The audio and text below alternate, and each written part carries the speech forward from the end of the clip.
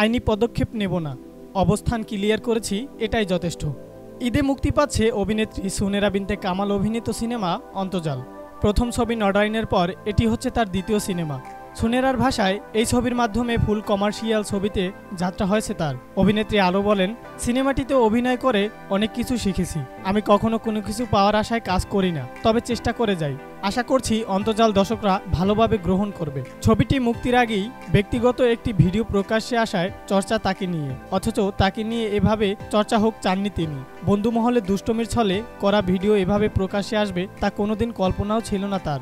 সোমবার রাজধানীর বাড়িধারায় অন্তর্জাল সিনেমা নিয়ে সাংবাদিকদের সঙ্গে মতবিনিময়ে সবার আলোচনা করা হয়। সেখানে উপস্থিত ছিলেন সুনেরা। অন্তর্জাল নিয়ে কথা বলার পাশাপাশি সাম্প্রতিক এই ইস্যু নিয়েও কথা বলেন এই অভিনেত্রী।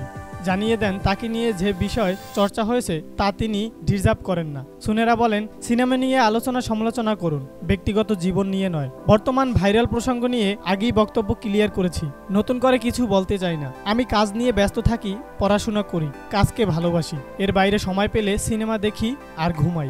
শুরুর দিকে আমি হয়তো একটু এলোমেলো ছিলাম, তবে এখন সব গুছিয়ে নিয়েছি। ভাইরাল হওয়া ওই ভিডিওগুলোতে সুনেরা নিজের ব্যবহৃত ভাষা নিয়েও দুঃখ প্রকাশ করেন তিনি। বলেন, যাদের কমন সেন্স আছে, তারা আমাকে দোষ দিয়ে কথা বলবে না। আমি কিছুই করিনি। আমি আগে যে সুনেরা ছিলাম, এখন আর তা নেই।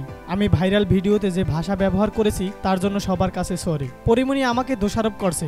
এটা একটা স্টুপিড দরকার হলে রাজের আইডির লোকেশন চেক করা হোক, আর সেই সময় আমি কোথায় ছিলাম সেই লোকেশনটাও মিলিয়ে দেখা হোক। ভিডিও নিয়ে কোনো আইনি পদক্ষেপ নেবেন না, জানিয়ে সুনেরা বলেন, কোনো আইনি পদক্ষেপ নেব না। আমি আমার অবস্থান ক্লিয়ার করে দিয়েছি, এটাই যথেষ্ট।